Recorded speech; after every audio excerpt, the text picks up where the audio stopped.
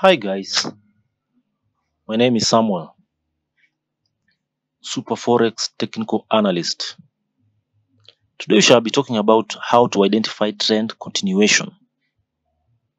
We are looking at uh, GBP AUD on the one hour time frame. Now, to, to identify that this is a trend continuation, we need to make sure that the market stays above lowest low of the previous pullback. Let me show you what I mean. This is our lowest low here. We have our another lower high, another lower high. Have another lower high here and another lower sorry another lower high here and uh, another lower high than the previous low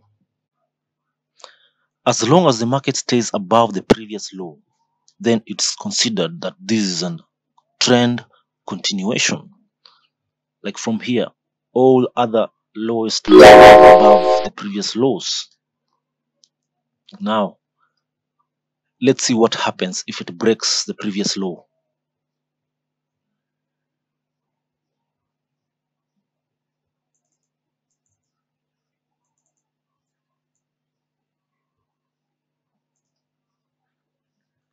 like here.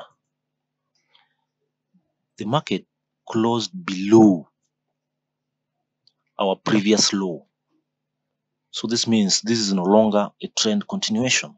The market stayed in consolidation then boom it dropped. This is the simplest way to identify a trend continuation. Thank you so much for watching